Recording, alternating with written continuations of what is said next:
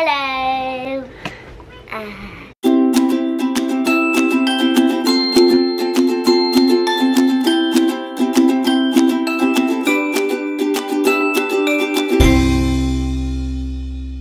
Hi guys, so today we are going to do a hair tutorial on Miss Lilia's hair. Hi. I'm not like a hair expert, I'm not really sure what to call this hairstyle. I'll figure something out, but um, this is a hairstyle that many of you have been requesting and there's a little boy that's about to run in.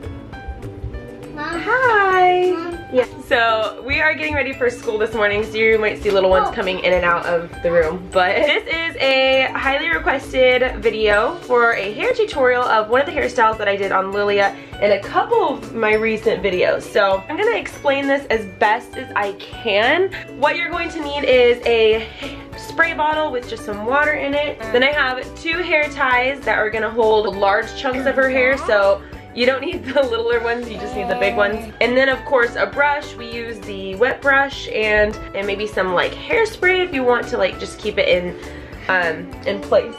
And then I also use one of these like combs that has this little end right there, that way I can part her hair easier. First you're going to part her hair down the middle, all the way down to the back. Once you have that done, I'm going to go ahead and take one of these, one of the sides and just kind of like keep it out of the way for now. And I'm gonna start on this side first.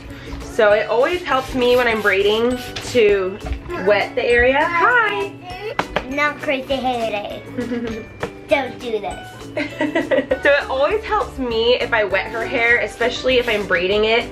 This braid that I'm gonna do, I think it's called a Dutch braid. I'm gonna explain it as best as I can, but I do recommend you go watch like some YouTube tutorials because they could probably explain it a little better than I can. What you're gonna do is you're gonna take a little chunk of hair in the front right here and I always again wet it because it just makes it a little bit easier and you're going to split it into three strands like you're gonna do a normal braid. The difference between this kind of braid and like a normal braid is that is the direction that you're braiding. So normally when you when you would French braid, at least for me, I would go in. So I would take these strands and go in like this. So with this braid, you're gonna go out. So you're gonna take the three strands like this and you're gonna start braiding out. I don't know a better way to explain this other than just showing you guys, so I'm just gonna kind of show you guys and hopefully you guys can kind of see what I'm doing.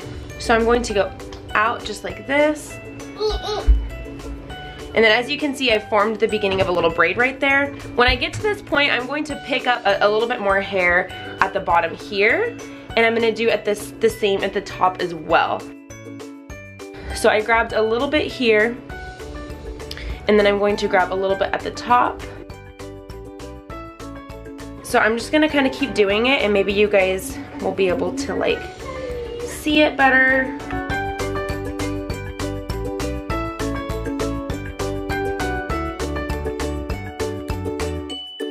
Can see every time I get to the top of here, I grab a piece of hair, and then every time I drop a hair down here, I grab another piece of hair as well.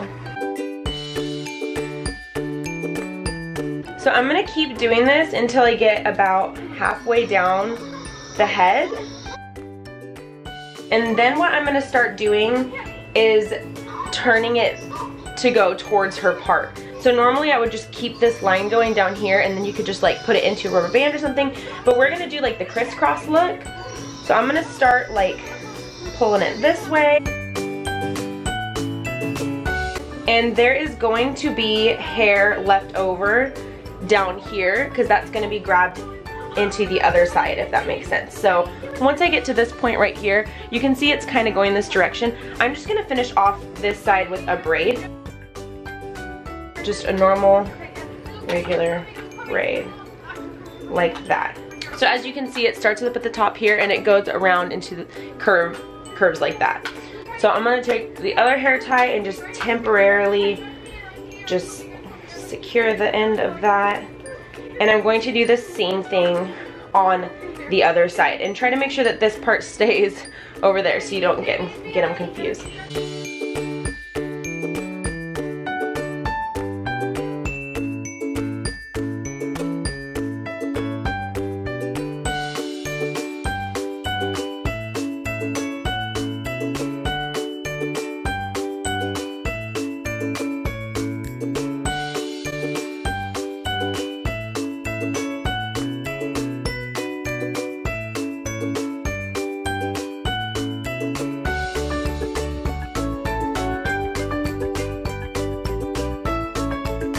So I braided it a little over halfway again, and, and as you can see, there is hair left over here again. So I'm just gonna finish out this braid just normally. I'm not gonna pick up any more hair with it at the end and pull it in the direction of the other side.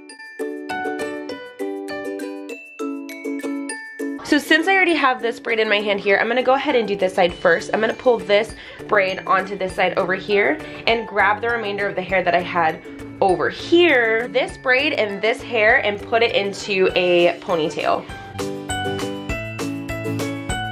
So then I'm gonna do the same thing with the other side. I'm going to remove this hair tie from here. As you can see, you grab the braid from this side over here and you're going to put it into a little pigtail on this side as well. This hairstyle always looks better to me when you put some bows in it, so I'm gonna go ahead and put a bow on each side. One there and one there. And that finishes off this look.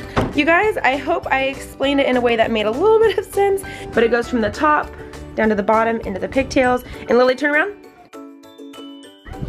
And that's what it looks like from the front. Super, super adorable. What do you think, Lily? You like this hairstyle? Yeah. Yeah. So that is it for this video guys. I hope you guys enjoyed this video and I hope it was semi-easy to follow along with. And I will talk to you guys next tomorrow for our next beta video. Say bye! Bye!